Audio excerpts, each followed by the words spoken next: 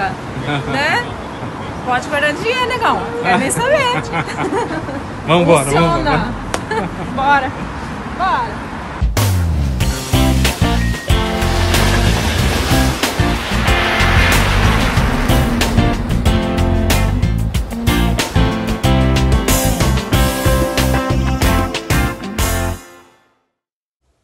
E aí, meninada? Tudo bem com vocês? Acho que esse vídeo aqui vocês estão esperando já há algum tempinho, né? Olha só. Isso aqui, hoje, né? Hoje tá com nove dias que eu fiz a, a operação. Eu tirei fotos, fiz alguma gravação, grava, gravaçãozinha durante esses dias aí. Aí eu vou estar tá colocando aqui no vídeo para vocês verem mais ou menos o dia a dia assim da recuperação. Olha, já tá bem clarinho, tá um pouco inchado. Eu ainda sinto assim, ó, amortecidinho aqui, olha. Nessa região dos olhos aqui, ó. Ainda tá bem amortecido e tá inchado. Porém, não está roxo, aquele roxão que estava nos primeiros dias, né? Já tá bem melhor, eu já vejo bastante assim mudança. Acho que depois que desinchar tudo assim vai ficar bem legal. Acho que vai atender as, as minhas expectativas. Que assim já tá melhor do que tava, né? Só tá assim, ó, tô sem maquiagem nenhuma. Então ele tá. Eu não posso usar ainda maquiagem, né? Durante um tempinho não pode usar. E eu pensei que ele fosse ficar bem mais roxinho, alguma coisa, mas a partir do momento que ele desinchou, ele já não ficou muito roxo. Ficou assim, ó, desinch... foi desinchando assim, ó. Desinchando e ficando já clarinho. Tá meio amarelinho, tá vendo, ó? Tá meio amarelinho toda essa parte aqui, ó. Meio amareladinha. E ainda tá, tipo, meio adormecidinho, assim, sabe? Mas tá de boa, tá tranquilo. Eu voltei a trabalhar no quinto dia, eu fiz no domingo. Aí eu voltei, eu cheguei na terça aqui, folguei quarta, quinta eu já tava trabalhando. Mas é quinta-feira o meu olho tava bem inchado ainda, inchado e roxo, né? Mas eu tava atendendo assim só as pessoas mais conhecidas, né, as mais chegadas, então foi tranquilo. Em alguns momentos eu usei o óculos assim porque tava muito feio, né? Aí deu para levar. Não senti nada de dor, nada mesmo. Quando eu falo nada, é nada. O único incômodo que eu senti foi de estar tá inchado. Só esse. E depois de uns 3, 4 dias, eu comecei a sentir o incômodo do, dos pontos. Sabe assim? Os pontos coçavam assim, aí eu tinha vontade de coçar assim. Aí me deu um pouquinho de desespero por causa disso. Mas aí deu para aguentar. Também não é nada assim tão absurdo, né? Acho que é porque os pontinhos estavam cicatrizando. E aí acho que dá essa coceirinha mesmo. Deve ser normal. Eu acho que é normal sim, né? Eu penso assim que mais uma semana assim já vai estar totalmente desinchado, né? Totalmente a sensibilidade já vai voltar ao normal.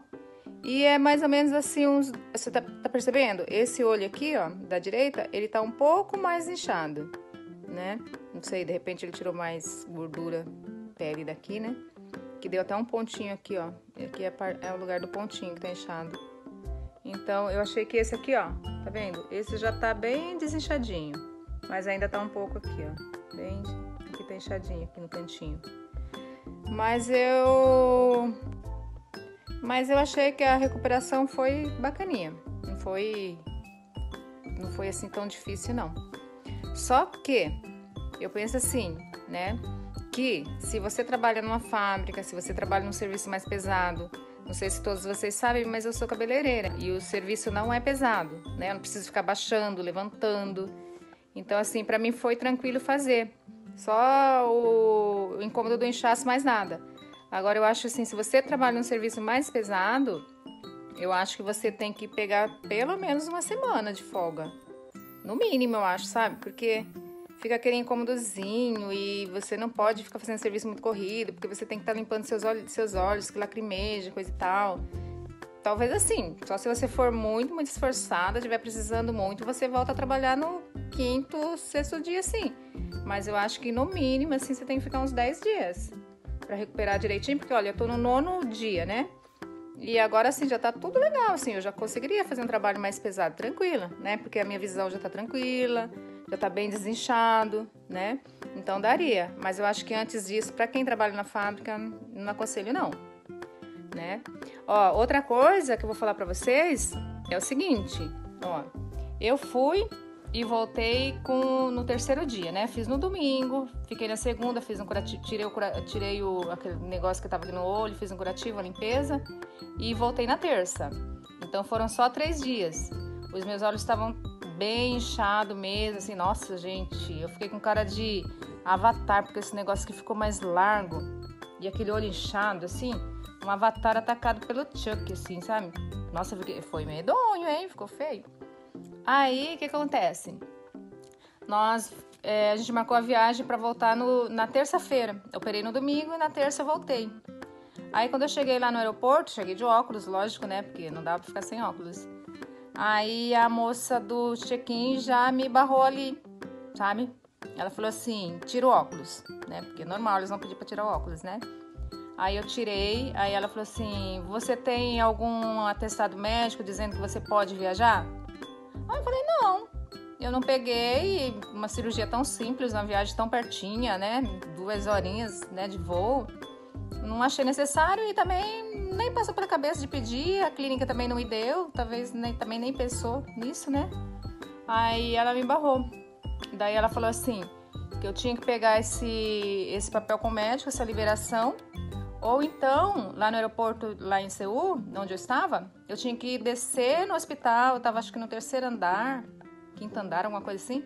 Aí ela pediu para eu descer para o primeiro andar e procurar um, um hospital que tem dentro, dentro do aeroporto, para médica ver se dava, né, se liberava coisa e tal. Aí tá, dali nós correr, hein? Correr, porque aquele aeroporto de Seul, ele é enorme, grande, grande, grande. E daí dali nós, gente, correr na correria, descer, procurar esse hospital. Porque lá, lá não é igual os japoneses aqui não, que às vezes te leva até o local, te dá uma pinha, te assessora, né? Lá não, ela só falou, vai lá, é lá no primeiro andar, se vira, vai e volta aqui em tal horário. Aí a gente foi correndo lá embaixo, aí a gente passou, conseguimos encontrar o, o hospital. Aí a gente passou, tivemos que pagar 4 mil ienes.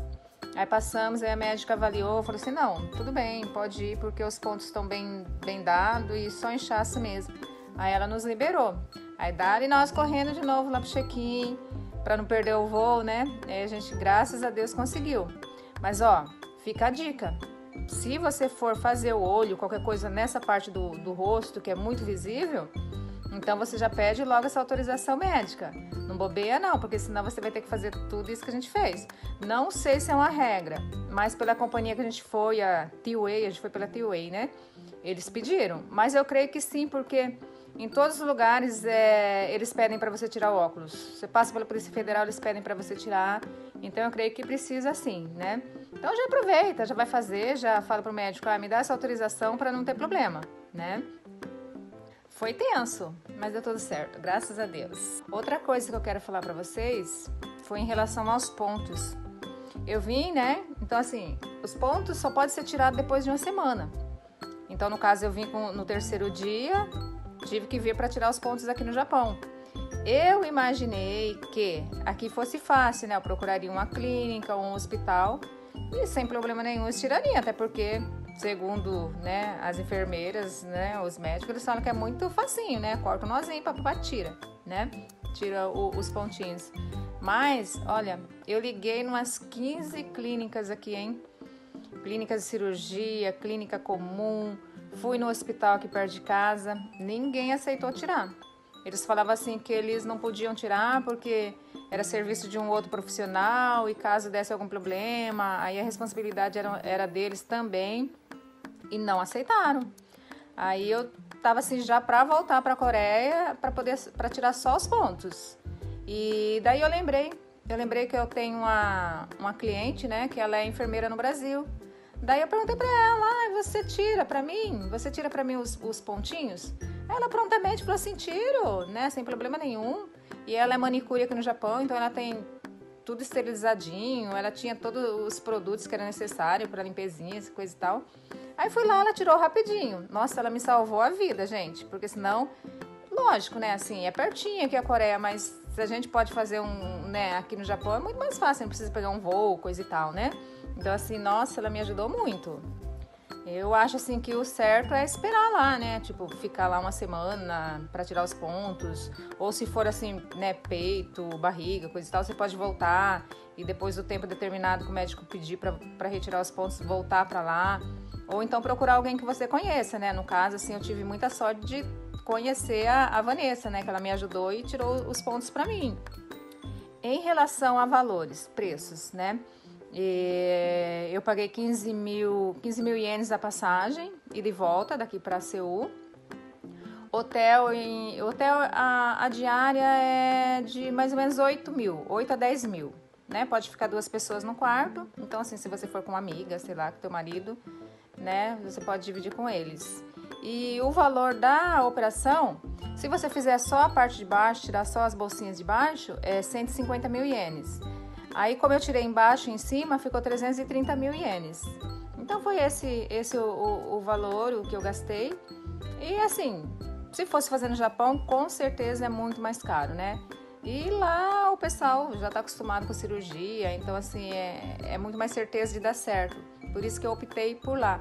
Primeiro pelos valores e também pela qualidade, né? Então assim, se vocês forem, vocês já sabem mais ou menos os valores, tá?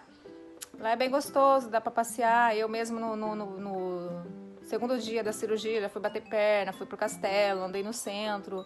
Foi bem tranquilo, né? Mas outras operações, então assim, como eu nunca fiz, então não sei como que, que seria a reação, né? Bom, meninas, eu espero muito que vocês gostem desse vídeo. Compartilhe aí com as suas amigas, né? Se inscreva lá no canal.